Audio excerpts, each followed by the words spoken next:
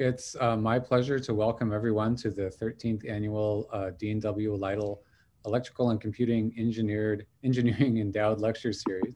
Uh, my name is Eric Klavins. I'm the chair of the Electrical Computer and Computer Engineering Department, um, and I'm also a faculty member. I've been with the department for 17 years. Um, and this is one of, uh, of our department's um, favorite events, and I, I, really wish that we could have it in, in person. Um, but we've all had to adapt. And it's interesting actually because we might actually um, keep some aspects of this uh, virtual event when we when we do go back in person because it allows people from all over the world to attend um, like we have today. So um, I'm glad everybody was able to log in and, and be a part of this um, event. Uh, before we get uh, too far, I want to make sure to um, uh, thank everyone for organizing uh, today's event. So um, the Lytle Committee, um, the events and PR team, our advancement team, um, as well as all of the panelists that we had this morning, and, and of course, um, our speaker, um, who we'll introduce in a minute. Um, a little bit of uh, uh, history here. So uh, the Lytle Lecture Series honors the memory of Professor Dean W. Lytle, um, who began his career uh, as an assistant professor in our department in 1958. Um, and he was a great teacher and a mentor and an intellectual powerhouse uh, in the department. Professor Lytle's research focus was in communications, networks, probability, and signal processing. Uh, he authored uh, he authored two textbooks, uh, and his consulting work included appointments at Boeing and Honeywell uh, and, and at Bell Labs. Um, today, uh, we are pleased to welcome um, the members of the Lytle family who are also joining this event um, virtually.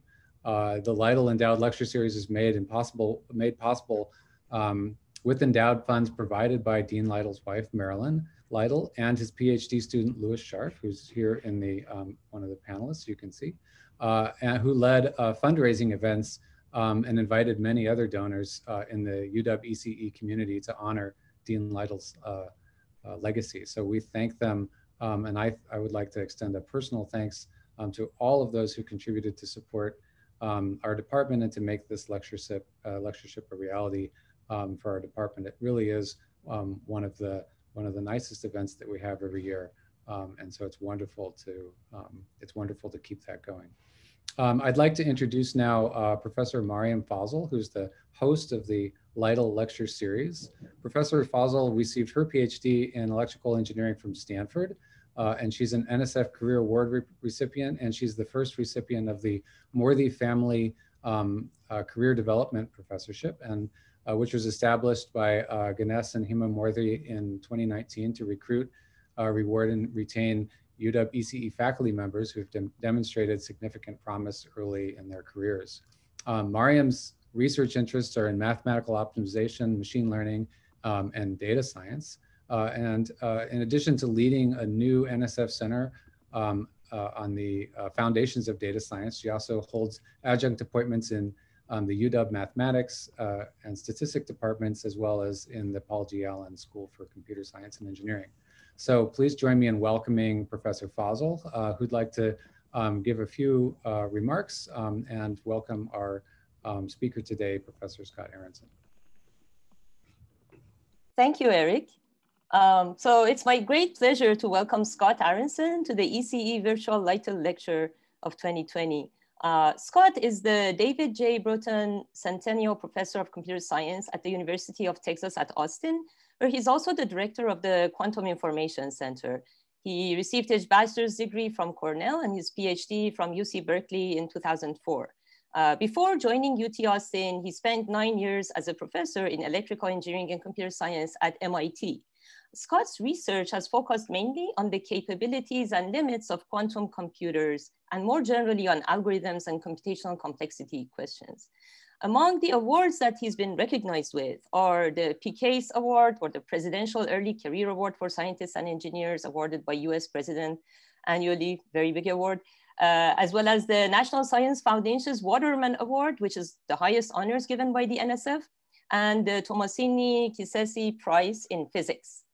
Um, Scott has written um, a book titled Quantum Computing Since Democritus, which I highly recommend. This was published in 2013 uh, by Cambridge University Press. Um, it's a very interesting book. It's actually a nice, insightful and accessible overview that touches upon um, uh, a broad range overview of quantum computing that touches upon a broad range of topics from the views of ancient philosophers in antiquity to logic to complexity theory to quantum computing and its present day implications. Um, I also wanted to mention, if you haven't, uh, if you aren't already familiar with uh, the engaging blog that Scott runs actually very actively with very interesting blog posts. Um, also to get a feel for Scott's interest in quantum computation and many other things, uh, such as artificial intelligence, singularity, black holes, and philosophy of science more generally, I really recommend watching his uh, Scott's podcast, uh, interviews with Lex Fridman, which you can find online. I found these super interesting. Before I turn this over to Scott, I wanted to ask the audience to please use the Q&A feature in Zoom to submit questions. You can submit your questions during the talk, um, or you can upvote questions submitted by others. And we will be discussing your questions at the Q&A sessions that follows uh, the talk immediately. Um, so without further ado, please join me in welcoming Scott Aaronson. And Scott, the stage is yours. Uh, all right, can, uh, can you see that? Yes. Uh, all right, good. Um, here we go. Okay, well, well, thank you so much for the introduction. Uh, thank you for inviting me. Uh, thank you to the Lytle family for uh, you know, uh, arranging the, uh, uh, sponsoring the, the series. I, um, I've, I've been a, a, friend of, you know, UW for a long time. I've always loved visiting and I was looking forward to visiting for this talk. Um, you know, um, before uh, COVID shut down the world. But, uh, you know, uh, what can we do? speaking of which, what I want to talk about today is uh, you know a, a, major development in quantum computing uh, that happened um, you know just just a few months before COVID shut everything down. So uh, about a year ago, um, by a, a, a, team at, at, at Google uh, in, in Santa Barbara. Uh, I was not part of the team that uh, produced this this engineering accomplishment, this demonstration of quantum computational supremacy you know, I'm a, I'm a theorist, you know, meaning that my view of what a quantum computer is, you know, maybe, maybe it's a little bit like this cartoon here, uh, which, you know, when I did a Google image search for quantum computer, this is what comes up. Well, you know, that, that, that's not exactly what they look like. You know, I've uh, done some, some lab tours. I can, I can report that to you, but, uh, um, uh, you know, um, along with others, um, I was involved in uh, uh, uh, work in, in uh, quantum computing theory uh, over the last um, decade or so that um, created some of the theoretical foundation uh, for, for this experiment that Google decided to do. So I want to tell you about that, about you know why uh, why why some of us are excited about it, and more broadly about uh, what is quantum computing, what, what what do we hope for from it. So, uh, you know, in order to uh, tell you what a, a, quantum computer is, you know, the first step is I have to tell you what quantum mechanics is. Uh, and, you know, quantum mechanics has a reputation for being, you know, incredibly uh, hard and uh, um, um, you would have to, you know, study physics for, for years and years to have any hope of understanding it people say things like, you know, if you think you understand it, then you don't understand it, and so on. Uh, you know, so uh, uh I'm, I'm, I'm, I'm not a physicist, I'm a computer scientist. Uh, and and uh, so I, I feel free to let you in on a secret, which is that quantum mechanics is actually much, much simpler than, than people make it out to be uh, once you take the physics out of it. Okay, so the way that uh, we tend to think about quantum mechanics uh, in quantum computing and quantum information is um, as a certain generalization of the rules of probability themselves. So it's almost like it, it's, it's barely even physics. It's an operating system that the rest of physics runs on as, as application programs, uh, uh if you'd like. Um, and, and, and, and what does this operating system say? Well, it's, it's, it was formulated in the 1920s. Uh, it, uh, uh, it, it, it, it, it has not changed since that time. You know, we keep discovering more about it and more things that we can do with it. but uh, you know, uh, quantum mechanics, as I'll explain it to you, you know, has uh, has been the same since uh, Heisenberg and Schrodinger, you know, wrote it down in 1925 and 26. Now, um, um, famously, quantum mechanics says that you know, there is a probabilistic aspect to the world, you know, at the lowest possible level, right? So if uh, you had a, a, uranium atom, right, it could be in exactly the same initial condition, and yet, you know, physics cannot tell you whether it will will have decayed within a certain amount of time or not, right? Uh, uh, just, you know, it can only tell you what is the probability uh, that it will have decayed within that time you know, and, and, and Einstein uh, famously had a great deal of trouble with that. You know, he didn't like that God was playing dice. So on, uh, uh, but uh, the, the probability is not at all the strangest part about quantum mechanics. Okay, you know, if that was all there was to it, you know, uh, big deal. Okay, the what, what is what is really unique about quantum mechanics is what we have to do in order to calculate the probability that something will happen, right? So, you know, normally a probability uh, is a real number between zero and one, right? And, uh, you know, like uh, I'm sure like many of you, I was compulsively checking uh, 538, you know, every, uh, every few minutes, uh, you know, during the, the, the, the, the election, right? And, you know, they might say there is a, 9% or a 20% probability of something happening, they're never going to say there was a negative 20% chance, right? That would just be an error in their, in their model, right? Far less would they say that there is an I percent chance, you know, a, a, a chance involving a complex numbers or involving the square root of minus one, okay? The central thing that quantum mechanics says is that uh, uh, to each way that something could happen, we have to assign a number called an amplitude. Amplitudes are related to probabilities, uh, but they're not probabilities. Okay, and in particular, they can be positive or negative. In fact, they can even be complex numbers. Okay, and uh, if you want to know how likely something is to happen, you have to add up uh, the amplitudes for all of the possible ways that it could happen. Okay, and then uh, the rule is that you you take the the, uh, the, the, the final total and and the square of its absolute value gives you the probability.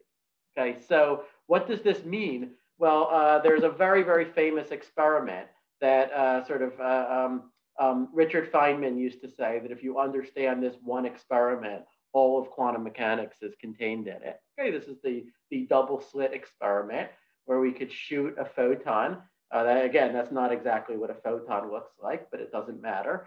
Uh, at, a, at a screen uh, with uh, two small slits in it, and we look at where it ends up at a second screen. And you know, we find that where it lands is a uh, probabilistic event, right? We can repeat over and over, and sometimes the photon will land uh, one place, sometimes another. Okay, as I said, that itself is not the strange part. The strange part is that there are certain places where the photon uh, sort of does not like to appear, certain like dark patches on the second screen, right, where there's a, a very small probability uh, of, of it landing there. Uh, and yet, if I close off one of these two slits, then suddenly the photon can land in those places. Okay, so to say that again, by decreasing the number of paths that the photon can take to reach a certain place, I can increase the chance that it gets to that place. Okay? And basically, in the years between 1900 and 1926 or so, physicists found example after example of you know phenomena that were like this that they uh, could not otherwise explain uh, until they finally figured out uh, the, the, secret that you have to describe uh, nature using these amplitudes. Okay, and the quantum mechanical explanation for what's going on simply that uh, you know uh, uh, uh, to to to to know how likely a photon is to land at a certain place, I have to add up two contributions. It has an amplitude for getting there by going through the top slit, and it has an amplitude for getting there by going through the bottom slit. Okay, but now if one of those amplitudes is positive and the other one is negative, then those two contributions can, as we say, interfere destructively and cancel each other out so that the total amplitude is zero and you never see the photon there. Okay, whereas if I close one of the slits, then I would only get the positive contribution or only the negative contribution. Okay, so now the amplitude is not zero and now I can see it there. Okay, this is the trick. It's this, this interference of amplitudes. This is the thing that conventional probabilities don't do, but happens in quantum mechanics. So, you know, the, the what, what fundamentally what quantum mechanics says about the world is that if you have any physical system, uh, you know, and, and, typically we we notice this most easily uh, if, if the system is an electron, an atomic nucleus, a photon, something like that. Although in principle, this would even be true for, for anything, for a, a cat, you know, for the room that you're in, for the whole universe. Okay, if you have any system uh, that can be in two perfectly distinguishable states, and let me just give them labels. I'll call them being a computer scientist. I'll call them zero and one. Uh, and but you know, uh, as a uh, concession to the physicists, I'll use the notation that they use, which is called Ket notation uh, which is, you know, these sort of asymmetric uh, angle brackets. Okay, so the, the, this is just a, a, notation that means quantum states. Um, then our system can also be in a superposition of the two states, uh, which uh, simply means a, a, linear combination. Means uh, uh, I have some amplitude for being zero, let's say call it alpha, and I have some other amplitude for being one, call it beta. So my state is alpha zero plus beta one, okay? And, um, you know, the amplitudes are normalized. So like they, they always have to give rise to probabilities that will add up to one. Um, and uh, if you've heard of a, a qubit, a qubit is the basic building block of quantum computing. It is simply, you know, a bit that can be in a superposition of the zero state and the one state. Okay, so it's a quant, the quantum version of a bit. Now, if you look at a qubit, you never actually see it in a superposition of zero and one. Okay, if you ask a qubit whether it's zero or it's one, then you force it to make up its mind about which one to be. Okay, and it will always pick the answer zero with probability at the absolute value of alpha squared and one with probability absolute value of beta squared. Okay, and whichever choice it makes, it then snaps to that choice. Okay, so it, you know, it, it, it, you you force it to make a choice. It's then sticking with it. Okay, if uh, if it says that it's zero, then you know you can look again and it will still say that it's zero. Okay, or like if it was uh, an electron, for example, and you measured its spin, you know, which is just some property that an electron has, you know, and it said that my spin is up, then from now on its spin really is up. Okay, uh, even if before you looked, it was uh, in a superposition of spin up and spin down. Okay, uh, so you know you might say, well then if we, if we never see things in superpositions, then how do we know that they ever were in superpositions, right? How do we know that this is not just some fancy way of saying, well, we don't know uh, whether the, the, the qubit was zero or one, and then we looked and we saw what it was. Well, the, the reason we know is that when qubits are isolated from their environment, from the whole rest of the universe, then they, the amplitudes change over time by rules that are very different from the rules of conventional probability.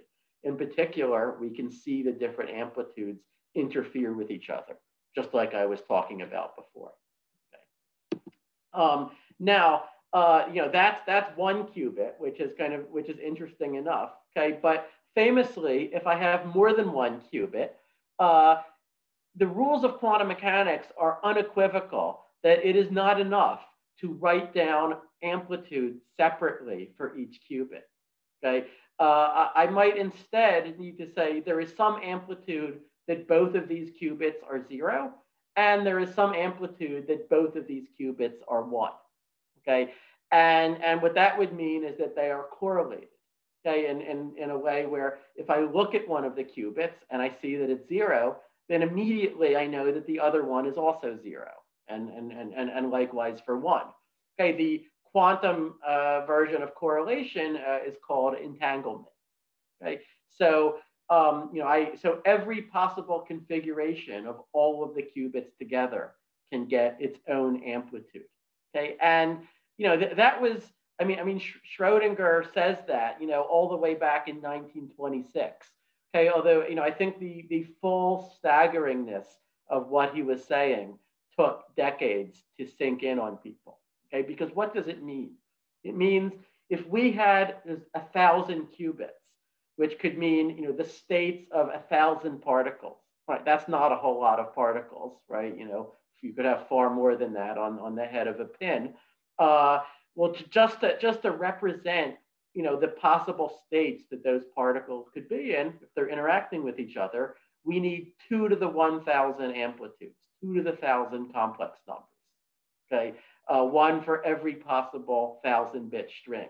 Okay, two to the thousand power is a lot more than the number of subatomic particles in the whole observable universe. Okay, but you know, again, quantum mechanics is saying that all of these uh, amplitudes are some are in some sense there. Okay, they are affecting the probabilities of the things that we do see when when we look. Okay, so you know, the chemists and physicists have known this for a long time, but they've known it mostly as a practical problem. That, you know, if you are trying to simulate um, atomic nuclei or molecules with your conventional computer in order to, to learn about their behavior, the difficulty of the simulation tends to increase exponentially with the number of particles, just because that is how many amplitudes you have to keep track of. Okay, so that's been a huge practical problem for you know simulating quantum physics. It's the reason why a lot of the largest supercomputers uh, in the world today are at least partly used for simulating quantum mechanics. Okay, but even they are, are limited in you know the, the size of the systems that they can handle. Okay, but um, uh, about 40 years ago, uh, a few physicists, uh, most famously uh, Richard Feynman and David Deutsch, had the remarkable idea that, you know, if nature is giving us this computational lemon, why don't we make lemonade out of it? Uh, or in other words, why don't we build computers that themselves would be built out of these qubits, or what we now call qubits, uh, that could uh, um, have uh, uh, superpositions of, of different uh, states in their memory and that could exploit this entanglement and interference of amplitudes. Now, of course, they then faced the question, supposing we built such a device, what they called a quantum computer, uh, what, what would it be good for? And at the time, they really only had one answer to that question, which is, well, it would be good for simulating quantum mechanics itself. Uh, and you know, as obvious as that sounds, I think that if and when quantum computing really becomes practical, that remains the most important uh, real application that we know about today, right? It, uh, if you're trying to design new drugs, you know, the, uh, or uh, new proteins, if you are um, trying to design new materials like uh, um, photovoltaics or high temperature superconductors, right? You have on your hands a many body quantum mechanics problem Okay, and to whatever extent, you know, the, the quantum effects are important uh, in um, making your system hard to simulate, uh, to that extent, a quantum computer could help you. Okay, um, but uh, it was it, was, it was only uh, uh, a decade after that, in the 90s, that people realized that quantum computers could also be used to solve a few purely classical problems, problems having nothing to do with quantum mechanics, much faster than we knew how to solve them with a classical computer. And that's what really started quantum computing as a field. That's what really started all of the, uh, the modern excitement about it. Uh, and, and, you know, the question of can we actually build this? Uh, so, you know, at this point, I feel compelled to address maybe the central misconception uh, about quantum computing that you'll you will have encountered, you know, if you've read almost any popular article about the subject people want to say, well, a quantum computer is just like a conventional computer, except it gets to try every possible answer in parallel. Okay, they are, you know, sometimes they'll say each possible answer in another parallel universe. Uh, and um, you know that that that that that that sounds really amazing if it's true, right? That sounds like wow, that you know you could uh, uh, uh, there, there, there, there, there's barely any limit to what you could do that way, right? You could just uh, you know try uh, um, two to the thousand power possible answers, and then you know whichever parallel universe happened to find the right one, maybe it could just shout above all the others and say, "Everyone, I found it! Look here." Um, unfortunately, it's not that simple. Okay, uh, so what is true is that with a quantum computer, you can create a superposition over all of the possible answers to your problem, even if there's an astronomical number of them, like, you know, two to the thousand or two to the million. Okay, that's even an easy thing to do with a quantum computer. Now, the difficulty is that if you want a computer to be useful, at some point you have to look at it. Okay, you have to measure its state and see, get an output.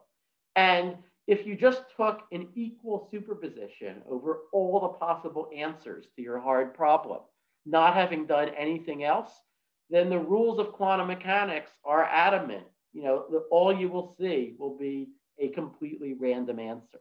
Okay? And well, if you just wanted a completely random answer, you could have picked one yourself, you know, just flip a coin a bunch of times or something, you know, probably saved billions of dollars and, you know, building the quantum computer. Okay, so, um, uh, you know, when we, when, as I said before, when we look, you know, this whole exponential quantum state almost entirely vanishes and we're left with just the tiniest trace of it, just a single random outcome, you know, whose probability is the absolute square of its amplitude. Okay, uh, but again, amplitudes work differently from probabilities. Okay, so the entire hope uh, of getting an advantage from a quantum computer rests on exploiting the way that amplitudes work differently.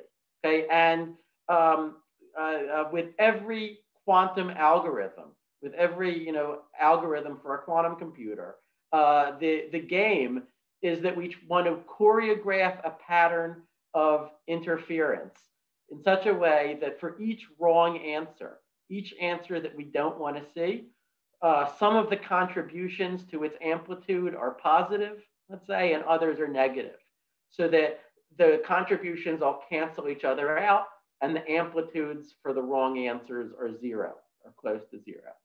Whereas for the right answer or the right answers, we want constructive interference meaning we would like all of the contributions to their amplitude to be pointing the same direction, or, you know, more or less the same direction.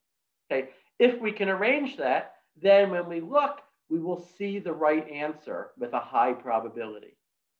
Of course, if we don't see the right answer, we can always just repeat our quantum computation a few times, you know, until we do see it. Okay, but you know, our goal is to uh, get as much amplitude as we can onto the right answer uh, uh, by using interference, okay, uh, uh, among all, you know, this exponential number of amplitudes.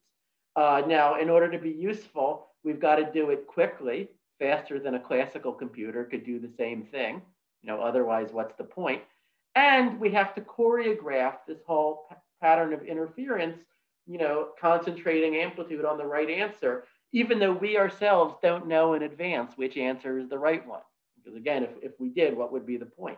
Okay, so this is a tall order, right? It is uh, uh, this really, really weird hammer that you know nature is giving us for computation.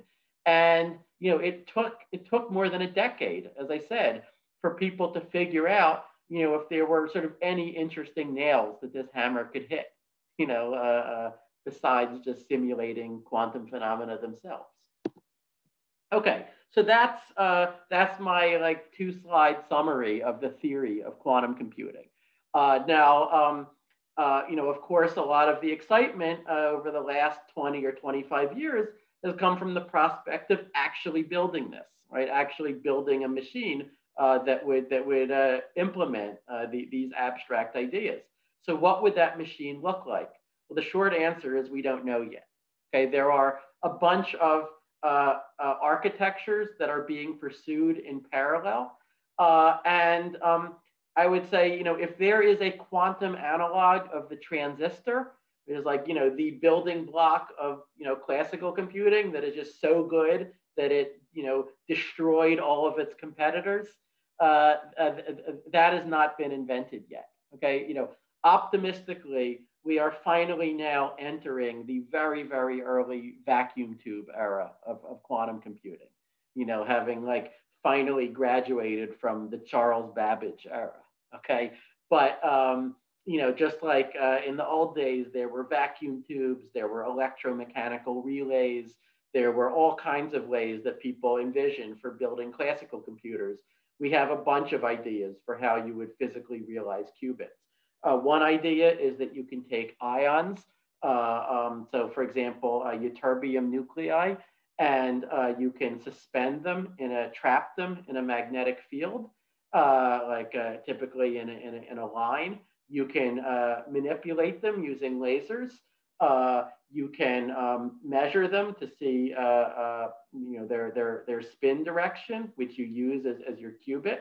Um, that, so this is called the trapped ion approach. It's being pursued by uh, Honeywell, uh, by a startup company called IonQ, and uh, by a bunch of others. Uh, they can now do you know, programmable uh, uh, devices with 30 or so ions, you know, as of, as of this year.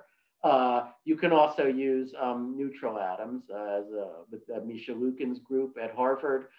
there are some serious players um, trying to do photonic quantum computing where your qubit would be uh, the polarization or some other degree of freedom, like the spatial mode of, of, a, of, of a photon. Um, PsiQuantum uh, is this uh, very big startup in Palo Alto that's pursuing that. Uh, the group of Jianwei Pan in China uh, is also pursuing uh, photonic quantum computing. Um, Microsoft Research has placed a huge bet on an idea that is I would say speculative even by the standards of quantum computing, uh, which is called topological quantum computing or computing with non-abelian anyons. So this is an approach that, uh, if it works, seems like it is inherently much more robust than any other known way to build a quantum computer. Okay, so some people think that, that this could ultimately be the right way to scale. Uh, but so far, people have not people have not yet succeeded in making even one qubit uh, via this um, non-abelian anyon approach. Okay, if you if you want to get it to work, all you have to do is create a new state of matter that's uh, never been seen in nature. That's what they're trying to do. Okay, now the approach uh, that is maybe the furthest along uh, at this moment, and the one that led to the Google result a year ago uh, that I'll talk about, is called superconducting qubits. Um, and uh, this is where uh, we take a chip, looks like an ordinary computer chip, uh, but we have um, um, uh, on it, we have um, um, superconducting uh, uh, coils. So we have wires that can you know, store a zero or a one in, their, in the state of their current. We then take this chip, we put it in a dilution refrigerator. That's this thing that looks like an upside down wedding cake down here. And we cool it to uh, about 10 millikelvin, uh, you know, a hundredth of a degree above absolute zero, that, that, that is when we get superconductivity, which in particular means that these uh, um, uh, um, currents can flow in a superposition of the zero state and the one state. So they now behave as qubits. Um, I should say the, these things are enormous by the standards of qubits. Uh, you can all, um, you could almost see them with the naked eye. Okay, uh, but um, uh, we, we have uh, a classical control system that is outside of the dilution refrigerator uh, with, that has wires going into the chip that is sending signals that tell each qubit exactly what it's supposed to do when. Okay, so the, the system is programmable. You know, that, that, that's the sense in which it's a, a computer at all. Okay, and uh, as, as we'll see, Google's um, you know, most recent uh, chips have uh, uh, about 50 to 70 qubits on them. Okay, but you know, why are we talking about just 50 qubits or 30 qubits or 70? You know, why not millions of qubits? Just like we have trillions or even you know quadrillions of bits in our classical computers. Uh, well, uh, the fundamental engineering problem building a quantum computer was understood since the very beginning.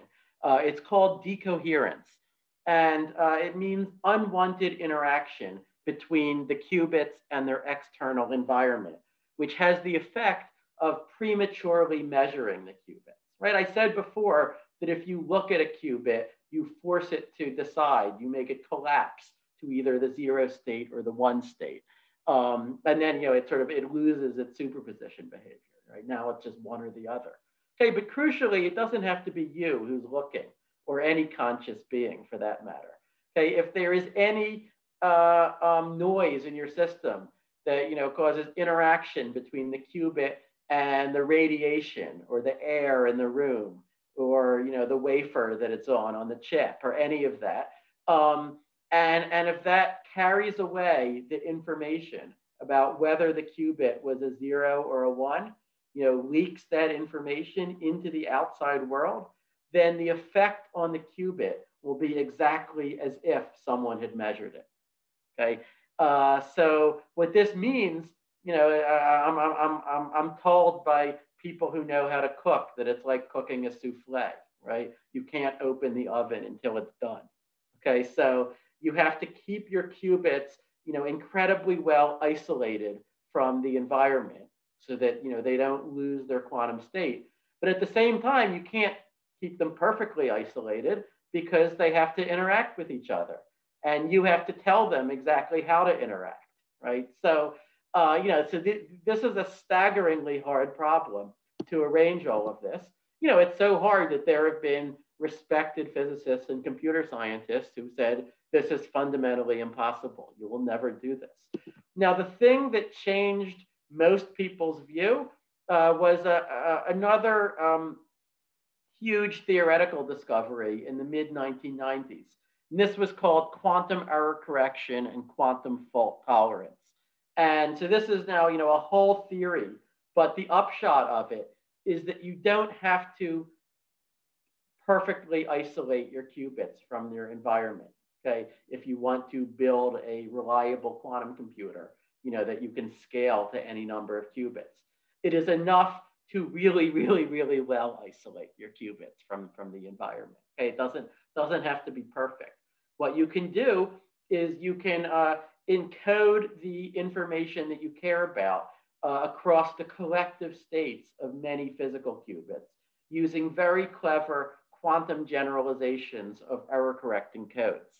Okay, and you can do it in such a way that even if any small percentage of your qubits were to leak their states into the environment, uh, you can detect that that has happened and you can correct it. You can recover what you need from the remaining qubits and just keep going forward, right?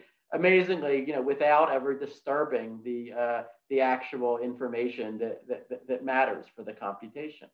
Um, unfortunately, um, you know, to, to, to get to fault tolerance, there's like a break even point, right? If your physical error rate is too high, then when, when you try to do this error correction, you just make things worse rather than making them better. Okay, so there's a break even point. You know, you can think of it like the, uh, uh, the critical mass for a nuclear chain reaction, right? Where each round of error correction starts making things better and better rather than making them worse and worse. We are not yet at that break even point. Okay, that is why we do not yet have, you know, useful quantum computers with thousands or, or millions of qubits. Um, on the other hand, if you look at the error rates that the experimentalists can achieve today, they are orders of magnitude better than they were than when I started in this field uh, 20 or so years ago. Okay, uh, um, they are, you know, maybe, you know, two or three orders of magnitude away still, you know, from, um, from, from the threshold where, you know, quantum error correction starts working. But, you know, the, you know, we are, you know, we are now, you know, much more in striking distance than, uh, than, than in the, in the 90s or the, or the early 2000s. So, um, um, you know, and and uh, uh, if, if there is a fundamental barrier, then it hasn't been discovered yet. Okay, but you know, you know, it, it would be great to you know directly test these questions, right? Uh, I mean, you know, the, the, the trouble is, you know, when, if, if you're not yet at the threshold for fault tolerance, then any quantum computer that you can possibly build, right, it, it's going, you know, the, it, everything is going to fall apart pretty quickly, right? Uh, can I ask you about this fault tolerance threshold? Yeah. So classically in engineering, uh, it doesn't seem like a problem that comes up. I guess maybe sort of in like in settings of like very cold temperatures or so on, but where there's a threshold uh, in something like this, generally the feeling is that you just improve things incrementally and eventually, you know, engineering solves those problems. Is there a reason to believe that this threshold is somehow fundamentally different than any other well, engineering one? I mean, I mean, I think we know, you know, many, you know, other examples of phase transition type of phenomena, right? You know, as, as I said, like, you know, ha- um, um, if, if, if I have half of a critical mass, I can't get half as big of a nuclear explosion, right? I mean, th- there is also a fault tolerance threshold for classical computing, by the way. It just it's just not as relevant because you know once transistors were invented, they were so far beyond the threshold that, that we didn't have to worry about it. Um, you know, but but I mean, there are many engineering systems where you know if if you can if you can get halfway to some milestone, like you know, or if I could launch a rocket you know, um, um, um, um, halfway into orbital velocity or into escape velocity. You know, I don't, you know, I don't get half as far. I just crash, right? So, um, um, you know, I, I think it, it you know, maybe it's analogous to the, to those sorts of phenomena, right? But certainly, but, no one, no one had a crisis of faith about, for instance, achieving orbital escape velocity. Yeah, well, you know, I look, um, um, I don't have a crisis of faith about this. Okay. You know? but, but, um, but you know, there are others who do, and that's actually a perfect lead-in to my next slide, which is, can't we, you know, using the technology that exists today, can we at least try to prove the point, or you know, answer the skeptics who say that this is never going to work by doing something beyond what we could easily do with any classical computer. Okay, so this is a goal that, um, well, I mean, the, the, idea was around for a long time, but uh, the word, the name for it was coined uh, eight years ago by my good friend, uh, uh the physicist John Preskill. And uh, he, he called it quantum supremacy. Now, he's more recently, he's expressed some regrets about this name. Uh, you know, either, you know, because it's too overhyped or because it, you know, reminds people of, you know, the sort of um, um, evil kinds of supremacy that uh, uh, you know but um, you know for, for for for better or worse this this name is stuck. So what what Preskill meant by it and uh, what I will mean by it is um, um, you know doing something with a quantum computer uh, some well-defined task uh, much faster than we know how to do it with any currently existing classical computer Okay. Now, notice that I did not say a useful task. Okay. That, that you know that that is not a requirement here. It can be a totally artificial benchmark. That's fine, but it's got to be well defined what we're doing. Uh, so you know the way you know what, what, what, what I like to say is that for me personally, you know this is the number one application of a quantum right. I mean, yes, you know we could simulate quantum physics that has lots of industrial applications. You know there is breaking codes. There's there's some other things you know that that uh, uh, i guess uh, funding agencies care about. Okay but for me personally that's all icing on the cake. Mostly you know i want to disprove my colleagues who say that this is this is all uh, uh, all just a fantasy and that this can never work um, so uh, so quantum supremacy is targeting that application okay now uh, you know, you could say that the gold standard for a demonstration of quantum supremacy would be, you know, to run, you know, the, the most famous quantum algorithm of them all. Okay, and this is called Shor's algorithm. So uh, in 1994, uh, Peter Shor uh, discovered that, you know, if you could build a scalable quantum computer, you could use it to uh, factor huge numbers. You could factor an n digit number in only about n squared steps. Uh, why is that important? You know, factor it into primes.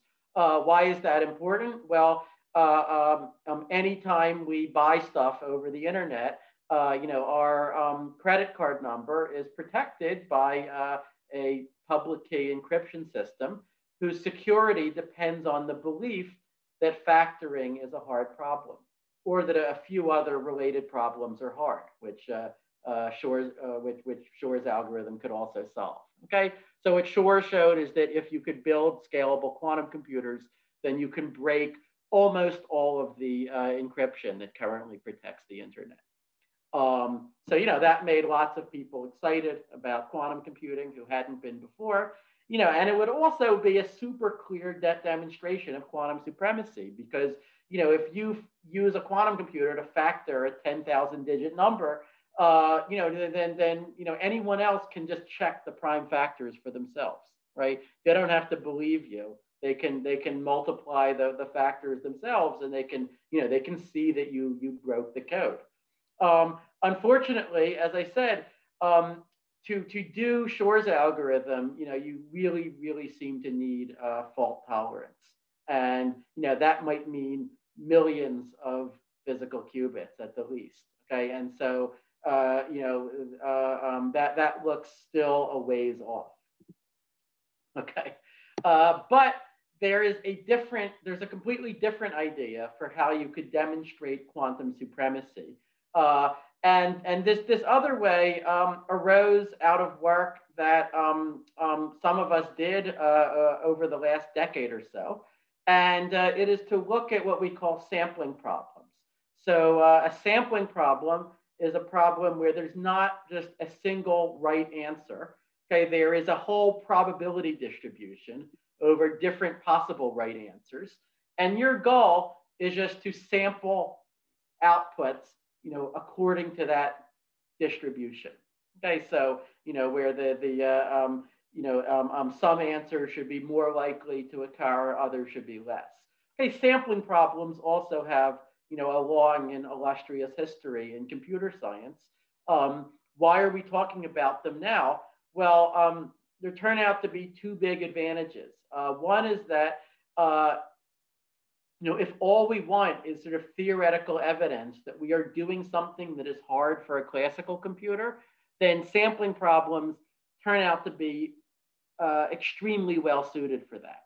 Okay, so factoring, you know, we think that there's a, a big quantum speed up there, but no one has ruled out that there could be a fast classical algorithm for factoring, right? And you know, and, and I would say that that you know many number theorists I've talked to even suspect that there is one.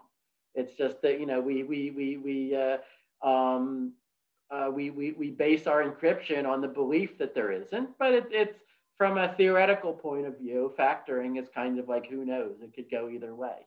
Okay, uh, what um, uh, so so working with a student named um, Alex Arkhipov, um, a decade ago, I proposed uh, something called called boson sampling, which was a uh, proposal for how to build an optical quantum computer that would solve one of these sampling problems. And we were able to give uh, theoretical evidence uh, that, that a classical computer would not be able to solve the same sampling problem quickly uh, that I think is uh, stronger uh, than, than, let's say, the, the evidence that factoring is, is a classically hard problem. Um, and so, you know, that, and, and that was sort of our original motivation for, for studying this. Uh, and, and others, uh, Bremner, Jozsa, and Shepherd were uh, studying related uh, ideas uh, independently from us. Um, and, um, you know, and, and, and all of us just kind of motivated by uh, computational complexity, you know, by like how strong can we make the evidence that a quantum system is hard to simulate classically. Okay, but then uh, people realized something not long afterward. They, you know, we started talking to the experimentalists and they said, you know, these sampling problems that you're talking about, we might actually be able to build this. We might actually be able to realize this with only 50 or so particles, you know, 50 or so qubits. You know, this looks way, way easier than doing Shor's algorithm. Okay, and so then that provided uh, uh, you know, another, you know, more, more immediate motivation for uh, thinking about these sampling problems. Okay, and that brings us to what Google did. So um, around 2015, uh, um, Google, uh, well, they uh, hired John Martinis, who was maybe, you know, the uh, um, led maybe maybe the, the leading group in the world building uh, super, uh, these um, um, superconducting qubit chips. And uh, they decided that they wanted to go for quantum supremacy using 50 or, or 60 or so qubits. And so I actually started an email thread with the Google people about, you know, like we, you know, we heard you want to do this. Uh, you know, here are the you know different ideas about how one could go about it. I included a bunch of colleagues in the uh, theory community, and you know, we sort of we debated the different proposals. You know, how like uh, um, because you know Google, you know, they like they, they, knew what they wanted to build, but they didn't know once they had built it, uh, what do you do with it, right? What do you do that you know that is hard to simulate with a classical computer? how, how sure are we that, that it really is hard to simulate classically? And also, how do you verify that the quantum computer actually has done it? Okay, so it was out of that discussion that um, Google uh, decided on an approach called random circuit sampling, uh, which I'll, I'll, show you shortly. Okay, but basically, you know, they built a 53 qubit uh, chip uh, called Sycamore. Uh, if you're wondering why 53 qubits, well, they built 54 uh, in, a, in a rectangular grid, and one of them didn't work. Okay, and then they used their chip to sample from a probability distribution over 53-bit strings.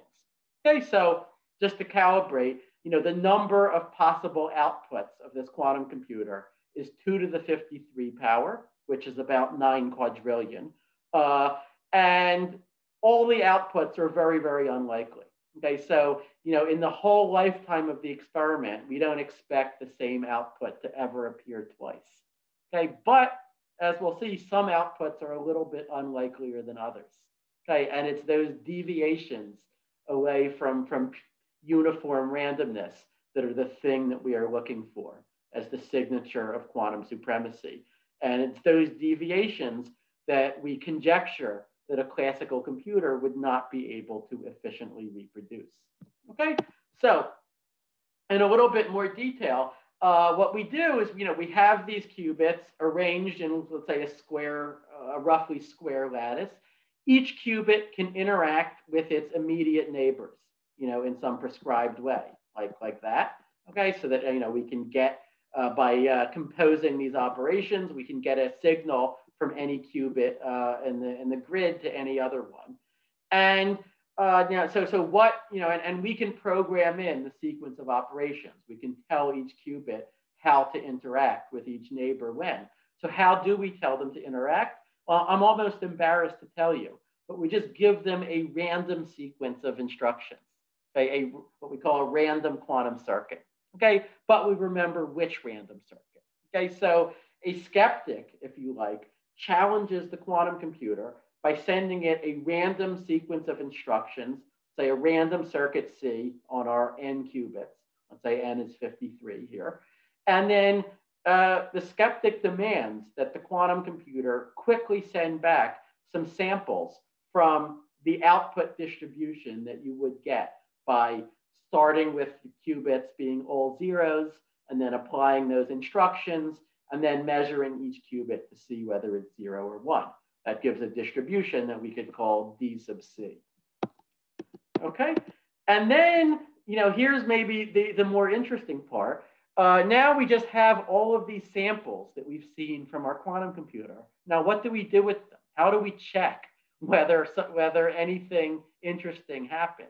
Well, now we have to, with our, uh, uh, we have to apply some tests using our classical computer.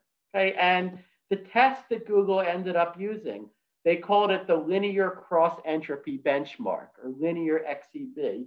Okay, but it's really, really simple. All they do is using a lot of brute force, they calculate what, what was what, what should have been the probability for each output that they saw. So they calculate the ideal probability for each uh, for each of the outputs that were observed. That is S1, S2, up to SK.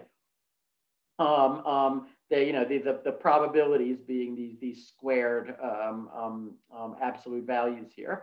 Then they just add them all up. They add up all K of them. And you can think of K as being a few million. Okay, that's the number of samples. And then they judge the test to have passed if and only if this sum exceeds a certain threshold. Okay, so they just want the sum to be large.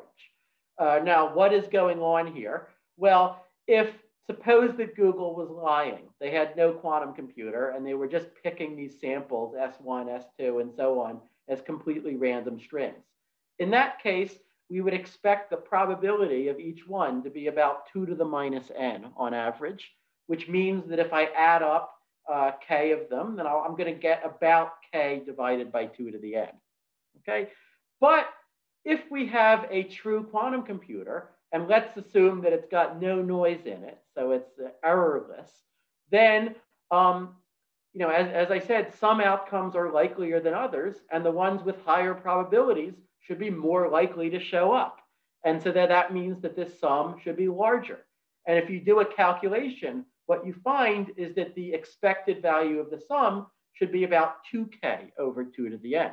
So exactly twice uh, the trivial classical value. Okay, so now we have our, our test, our experiment, which is can we actually see that the value of the sum is higher than the, the, the, the classical value. Um, in its experiment, you know, and, and, and, that, and that's encoded in this number B, which is somewhere between one and two. Two being a perfect quantum computer, one being a, uh, uh, let's say, what uh, the best that we think that a classical computer could do. Okay. Uh, in its experiment, Google reported uh, the, uh, the, a value of B that they measured that was about 1.002. Okay. So slight, only very, very slightly above the classical value. But, you know, they took enough samples that they could verify to like 10 or 20 sigma that it really is more than one. Okay, you, you know, you really are seeing something there. Okay, so, you know, again, all the possible output strings are exponentially unlikely, but some are unlikelier than others.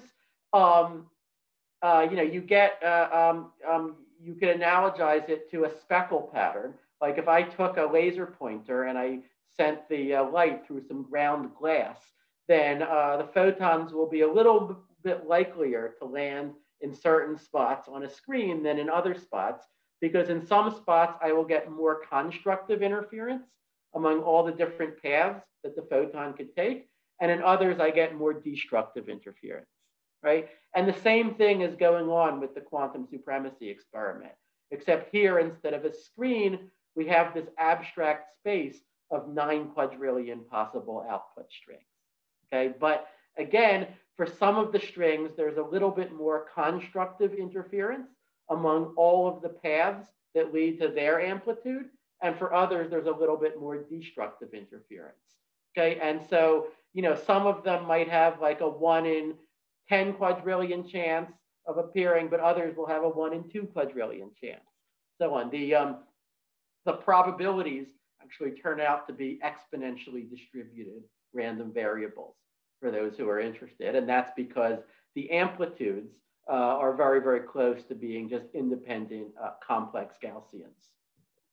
Okay, so um, some of you might have heard, you know, so so so so Google put out this quantum uh, supremacy claim, and you know, I guess last October. Um, actually, uh, what, what, what, happened first is that it, it, their paper accidentally leaked because uh, uh NASA, which collaborated with Google, put it on their public website by accident, and then the media picked it up, and it got all over the world. And you know, Google was still under embargo from Nature, so they couldn't comment on it.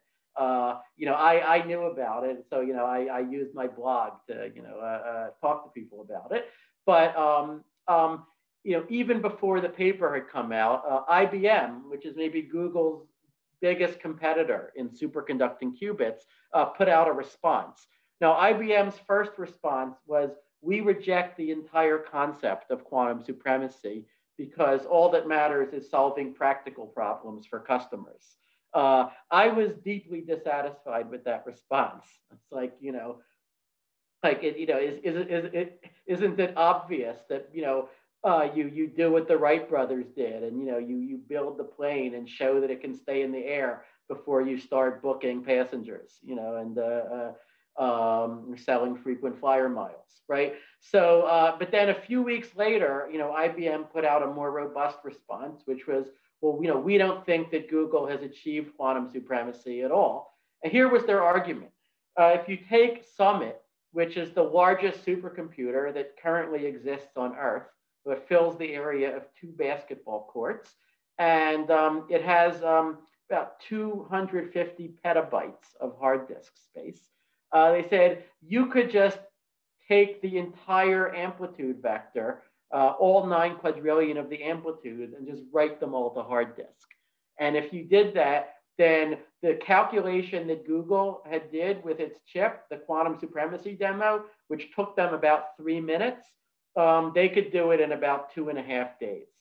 Okay, so Google had estimated it would have taken about 10,000 years.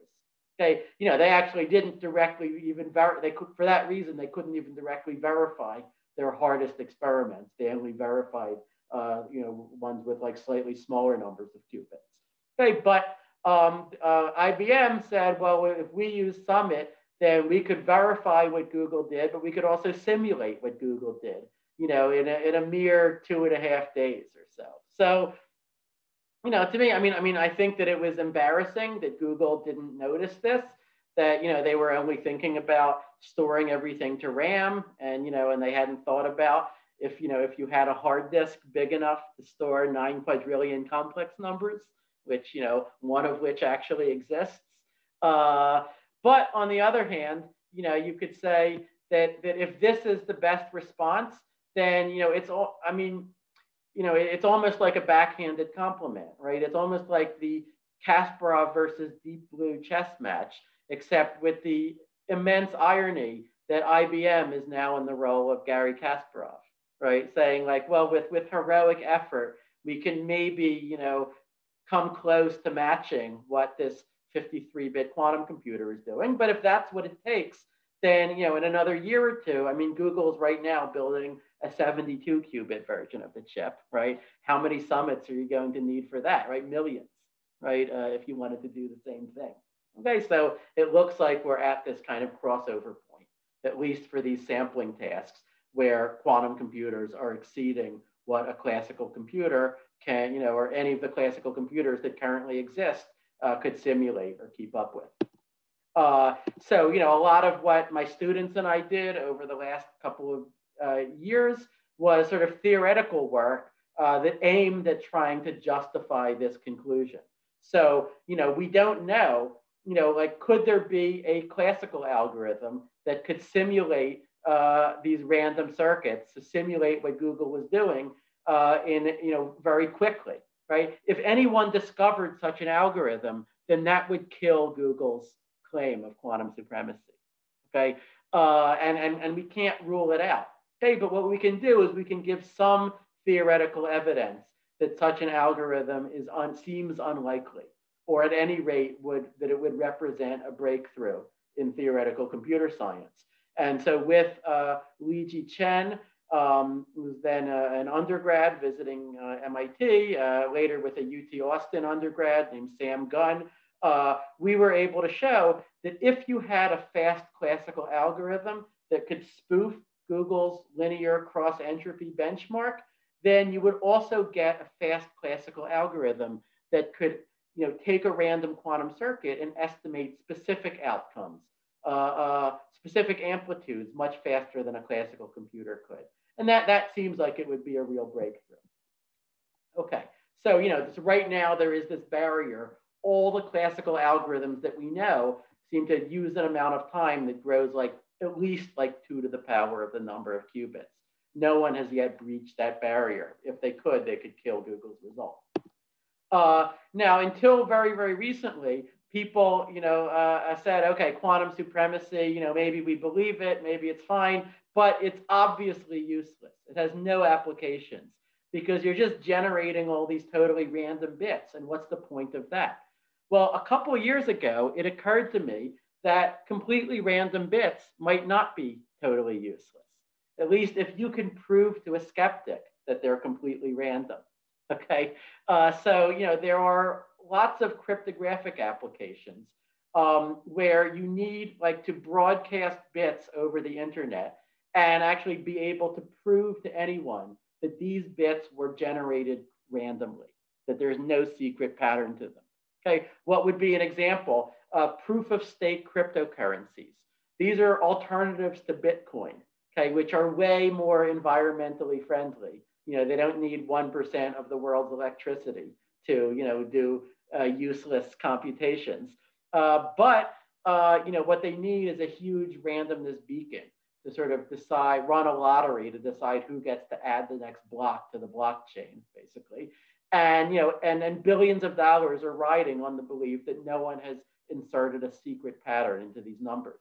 Okay, so what I noticed is that once you have a quantum computer that can uh, uh, pass this linear cross entropy benchmark, like the one that Google now has, then you could almost immediately repurpose it to get a randomness beacon where, you know, by, by checking that uh, the, the linear cross entropy benchmark is, is, is being passed, you get a sort of cryptographic certificate of randomness. Okay, even a quantum computer, we think, should not be able to pass this benchmark quickly, except by sampling the result randomly. Okay, so um, you can use it for uh, what we call certified randomness. Um, Google is actually right now working to uh, demonstrate this protocol, you know, and um, there's some hope that it could be the first realizable application of quantum computing.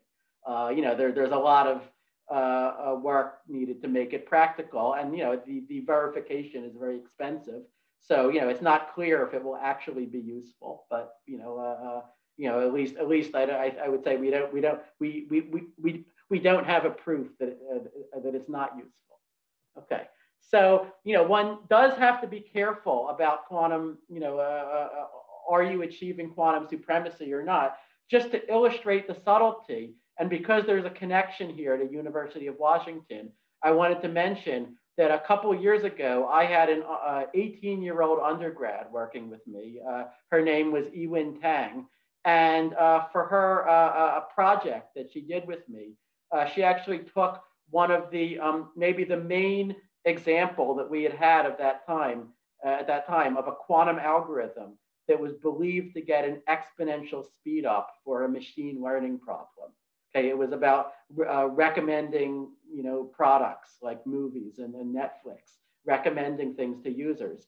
And Ewin was able to dequantize that algorithm. That is, she found a classical algorithm with similar performance. Okay, the task that I had given her was to uh, try to prove that this exponential quantum speedup is for real, right? Because no one had proven that at the time. Try to rule out that there's a fast classical algorithm. She tried for a year and was not able to do that. Ultimately, the reason was that you know there is a fast classical algorithm. Okay, this is this is sort of you know what is so you know I think what the maybe one of the biggest things people don't appreciate about quantum algorithms is that you know um, um, you know we are fighting against classical compute right it's only interesting to the extent that we can beat classical computing and classical computing is a moving target it can fight back okay this is you know um, and and so as we learn more about quantum computing we also have to learn more about the limits of classical computing if we want to know that the quantum advantages are for real. As I said, Ewin is now a um, PhD student at University of Washington. Okay, so to summarize, you know, I think this is a particularly exciting time for quantum computing. Um, after decades of theory and experiment, we finally started to see clear speedups over classical computers for specialized problems with, you know, 50 or soon 70 qubit devices uh, achieving full scalability and fault tolerance and you know threatening our encryption and all that stuff. That's going to take a while longer. Um, quantum speedups you know uh, um, um, unfortunately for a lot of the, the people who would who would like them to just apply to everything they are a very subtle business okay they depend on exploiting the, the structure of your problem choreographing a pattern of interference that concentrates amplitude on the right answer to your problem. So it is not just unlimited free exponential parallelism. It's a very weird resource. I like to say it is weirder than any science fiction writer would have had the imagination to invent. but you know, we are figuring out some things that you can do with it. So with that, uh, thank you all for listening. I apologize for going a little bit over, and I'm happy to take any questions.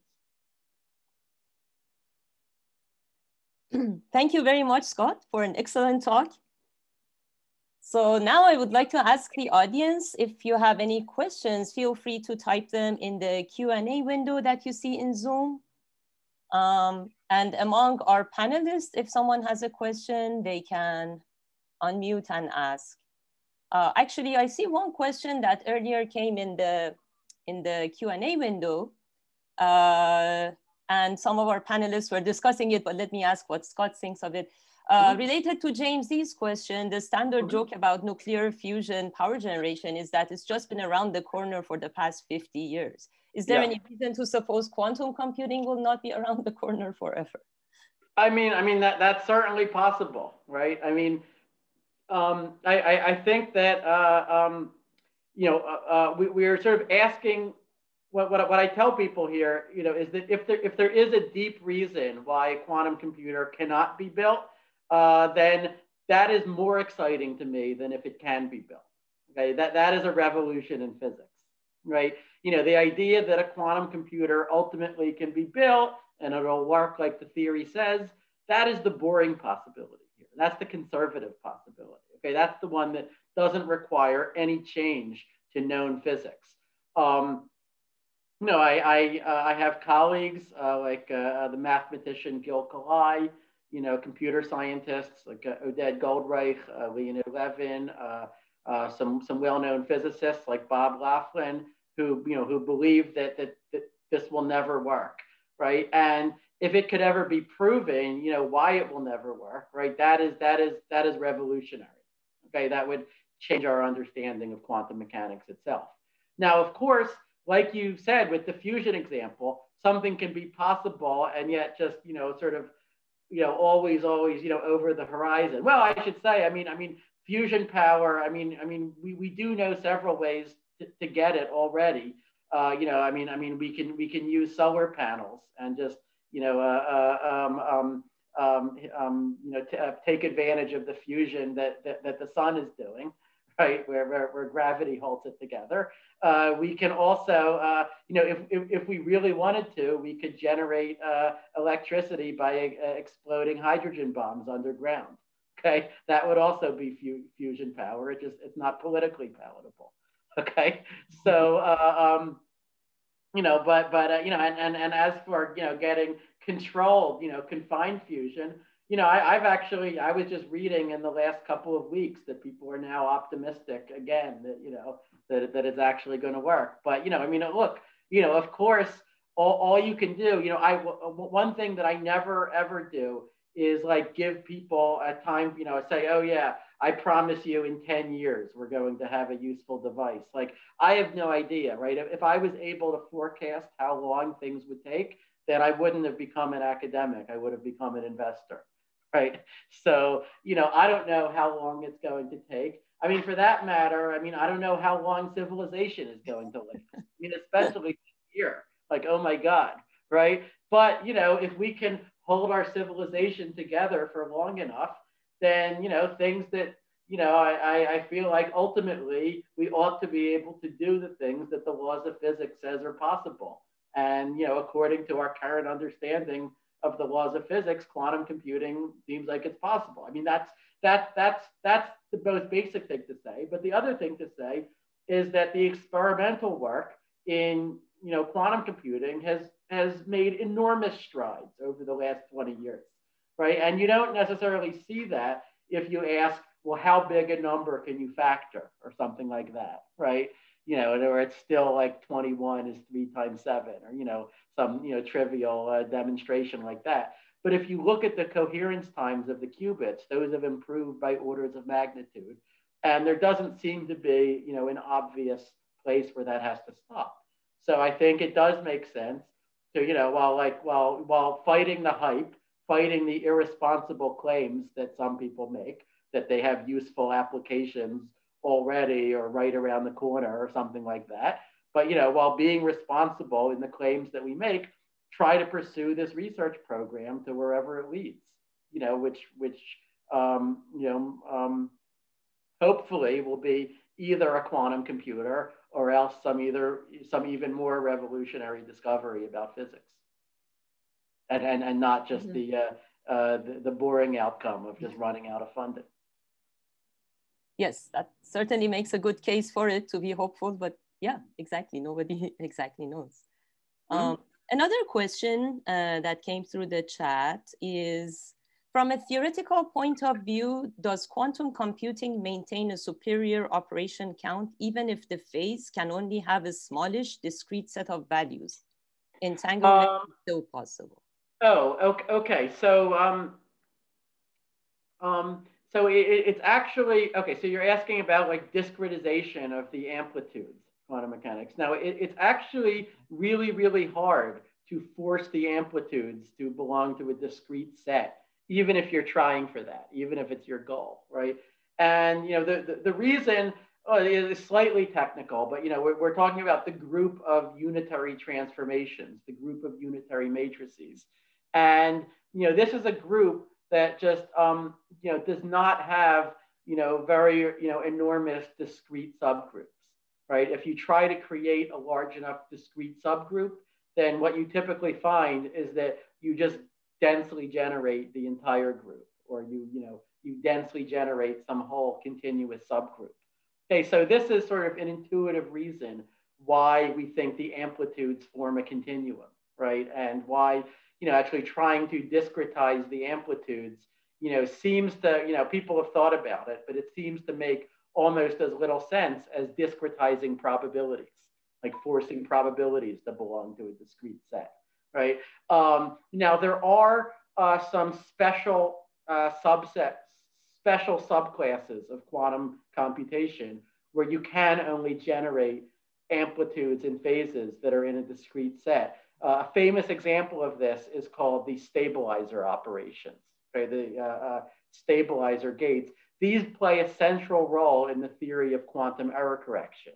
Okay, uh, but these also have the property that they can be efficiently simulated with a classical computer.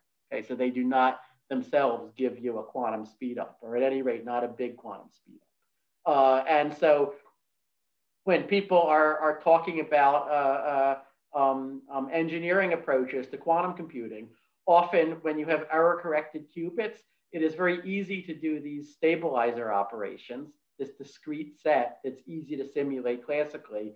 Uh, but the hard part is if you want it to be interesting, you, you also need non-stabilizer operations, right? That would go outside of, the, of that discrete set, uh, you know, into the whole continuum of amplitudes and make the thing uh, uh, uh, hard to simulate, you know, and do, do interesting computations.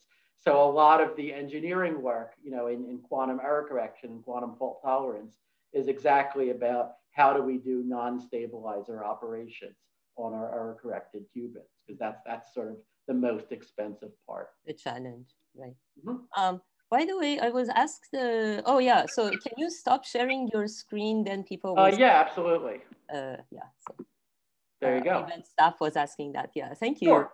Um, there are lots of questions. Actually, let me okay. just pause for a second and ask if any of our panelists would like to ask a question. If yes, you can unmute and go ahead. Questions or comments?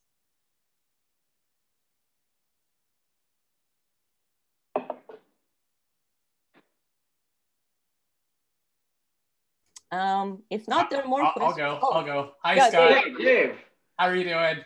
Hey, do, do, do you have, do, do you want me to define what a qubit is? What, what, yes, what? yes, I want you to define a qubit. I've been working in quantum almost as long as Scott. Um, here's a good question for you. So there's this like famous quote that Feynman always said is quoted. It's tribute to Feynman. I don't know if he said it. He says, "I think I can safely say that nobody understands quantum mechanics." So quantum mechanics is strange, right? But we use it all the day and we, we definitely understand it, right? But I wonder what your perspective is on just it is weird and it has these, you know, spooky correlations. And, you know, like, does that matter, right? Like, can we just ignore that and just continue to do quantum computing? Or should we care about like the fact that it is very mysterious how this works in some fundamental way? Well, well, look, I mean, I mean, I mean, the mystery is what brought me here in the first place, right? You know, I don't, I don't like. Uh, I don't have. Uh, uh, uh, uh, I, don't, I don't stay up at night with a burning need to you know steal people's credit card numbers, right? Or you know break RSA, right? I mean that's that that that that's not why I'm in this field, right? I'm I'm in this field because you know I mean uh, the you know the limits of computation are mysterious. You know P versus NP problem is mysterious, and quantum mechanics is also mysterious. And quantum computing is a field that throws all of it together. And maybe if we understand that, then it will shed more light on these big mysteries. Uh, so that's that's that that's that's why I got into this in the first place. And um, you know, and, and I think um, uh, you know, so I mean, I, I think I think it, it, it, does matter. I mean, but you know, it, it uh, um, you know, I mean, I mean, often, often, you know, there, there, there, there, there, there are some mysteries that, uh, you know, even, even, even if they're never solved, they may, they, they, they may still be fruitful, right? They may still, you know, inspire people to pick off little related questions or sub questions that, that, that actually can be solved, right? And I think, you know, understanding the true nature of quantum mechanics is, is maybe in that class. So the good news is Scott is not an imposter. That's the same Scott that I knew when he gave one of his first talks at Caltech. Uh, but, but I'm going to ask a follow up, which is, do you think we've made progress on this problem of understanding quantum, or is is it still? Do you think well, quantum has helped in that? Do you think there's any, yeah. or are we still sort of as confused as we were back in when we started yeah. thinking about this? Yeah, I mean, I mean, I think you know you can you can you can ask this about any of the sort of the biggest questions of philosophy, right? Like like you know have you know all, all of the research that that's happened in neuroscience has it told us anything whatsoever about consciousness or are we just as confused about consciousness as the ancient greeks were right all of the work in, in mathematics? Has it ever you know clarified what is infinity or are we just as confused about that? I mean i i i i, I tend to think you know um, uh, you know, it, it, it, it's kind of like, you know, even even if uh, uh, uh, you know a road is infinitely long, you know, and like no matter how far you go, uh, you know, you are you know you're still infinitely far from the destination. Well, you're still further and further from your starting point, right? You know, you can you can still walk down the path and learn stuff.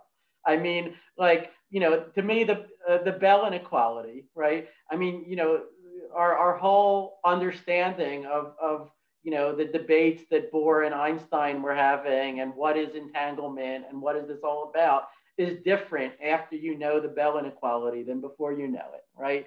And that was a technical result, and it was, you know, until the the uh, the 60s, you know, that, that anyone thought of it, right? And and I think, you know, with with quantum computing and with, you know, all of the developments that are happening right now with it from qubit and with connections to the black hole information problem, you know, I think that that we are understanding something, you know, uh, important about quantum mechanics itself that uh, that that uh, that people didn't know before, right? That you could you could have, you know, if you dug Feynman out of the grave and told it to him, he'd be like, oh, you know, that's interesting. I didn't know that, right? Um, you know, in the, in the in the same way that uh, you know, I mean, I mean, I mean, Gödel's theorem didn't solve all the mysteries of math, but like, it's like it's one of these things that after you know it, like you just you just pity the people who didn't know it. Like, well, you know, like how how how just you know, um, um, um how ignorant you know uh, were they, right? So you know, so that I think that that that should be our goal. Maybe not to understand everything, but at least to understand things that will then look back and say, how ignorant could we have been not to know those things. So we are running out of time for more questions, but I wanted to point out in the Q&A, we also have a lot of thank yous and uh, uh, also mentions of, oh, your blog has helped me in my teaching. So lots of people have uh, nice comments. and. Oh, well, thank uh, you very much. And thank you everyone for listening. Yeah, we had about 300 people uh, at the attending. So thank you very much again. But I would like to now pass uh, the stage again to Eric to conclude. Great. Uh, well, um, first of all, thank you, Scott, for a, a, really fun talk. And thank you for everybody who are posting and answering and conversing in the chat. I think you can tell that um, maybe one of the most exciting reasons to focus on quantum computing as an engineering endeavor is because um, it's exciting and interesting and filled with mystery. And I really thank Scott for reminding um, us of that. So um, that was great. Uh, I want to take a moment to thank um, everybody who helped um, organize the event, uh, including our PR and advancement teams. And I really want to recognize the Lytle family for making this lecture series possible. Um, and with that, uh, thank you all for attending and um, and congratulations everyone on a on a wonderful Lytle lecture series. All right. Well, thanks again. Thank Yeah, you, Scott. bet. Yeah. Um, Yeah. And, but the uh, panelists can stick around if, if they want to keep talking. For sure, Yeah. we'll leave the channel. right. All right. It's kind of like after a real talk when people stand around by the podium and chat, right? yeah. Um, Dave, how have you been? Long I'm time good. no see. I'm a Scott groupie. I'm gonna I'm gonna Um, come around and glom around I, you. I, I, I, I've been a Dave Bacon groupie. uh, but you, you, you were, you are in a new place now. yeah, I'm in Seattle still, right? So Okay. Okay. uh, yeah, IonQ will open an office here once offices are a thing. Oh, right. I am. yeah, yeah. Right. Also, So, okay. yeah, switched Wow, over. We're, yeah. So I mean, every, every every time I think I've got you pegged and I know what you're up to, you just you you roll the dice again. That's right. Exactly. It's time to try something new. And Yeah. then I, I timed in myself and say in three years or two years, two and a half years, I'll I'll reevaluate and see what to do next. Yeah, yeah, yeah. yeah. So this IonQ launched just very recently, is that right? Well, it's been around for five years, and you know the founder, you know Chris Monroe is the like with Dave Wineland, who is a UW postdoc, uh, you know a Nobel Prize winner. Uh, uh, they did the first quantum gate in like 95, 96 Hmm. in ions, which was amazing because the theory paper Cirac Zoller came out, and then it was like literally like just a couple months later they did that gate, which at that point you could have thought like, oh, quantum computers are around the corner. but it was, you know, that was a really, really amazing experiment. Um, Mhm. So So Scott, I have a question. I, I never really Yeah. got, uh, understood Sure, sure, sure. well. So when the supremacy came out, the Jian Wei Pan also had this PRL paper on boson Who? sampling. Oh, oh, Jian Wei Pan. Yeah. So how different they are? I mean, I, I don't I don't understand Yeah. theory that what is So, the, okay. both cited your paper and they I think cross cited each other as well. Yeah, sure. And that's a that's a that's a that's a good question. Uh, so um so so so Jian Wei Pan's group is uh, is working to demonstrate quantum supremacy using boson sampling, which was the original proposal that Alex Arkhipov and I had a decade ago, right? Uh, you know, now the Google group they considered doing boson sampling, right? Because there was an idea that you could, you know, once you built superconducting qubits like theirs, then you could use them to control microwave photons in, in resonators, and you could then do boson sampling with those photons, right? They considered now, now that would have required a massive amount of additional engineering on top of what they were already doing. And, and so, you know, what they decided around 2015 was, nah, you know what? Theorists are cheaper. So, you know, we're going to just go forward and build the kind of chip we wanted, and we're going to leave it to the theorists to figure out how they can adapt boson sampling to the kind of hardware that we have, right?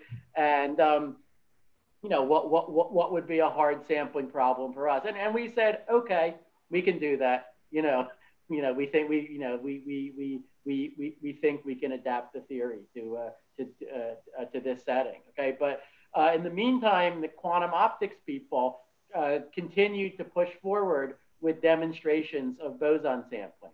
Now, the first demonstrations were with three photons.